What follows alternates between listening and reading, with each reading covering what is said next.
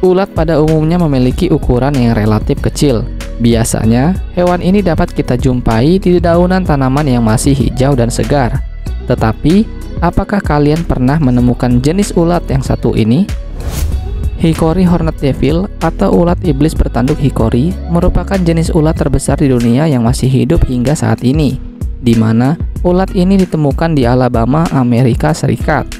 Ulat hickory memiliki ukuran tubuh hampir sebesar hotdog dan panjang mencapai 12,5 hingga 14 cm. Ulat hickory memiliki warna tubuh hijau yang dilengkapi tanduk atau duri berwarna orange di bagian kepalanya. Karena tanduknya inilah, ulat ini sering disebut sebagai ulat iblis bertanduk hickory. Bahkan, ayam sekalipun tidak berani memakan ulat ini dan lebih memilih menjauhi ulat hickory. Namun, walaupun ulat hikori memiliki tampang yang seram, tetapi nyatanya ulat ini tidak berbahaya. Bahkan ada beberapa orang yang sengaja memelihara ulat ini untuk dikoleksi. Dalam fase kehidupannya, telur dari ulat hikori akan menetas dalam waktu sekitar seminggu lamanya dan kemudian larva hikori akan hidup sekitar lima minggu sebelum akhirnya berubah menjadi kepompong.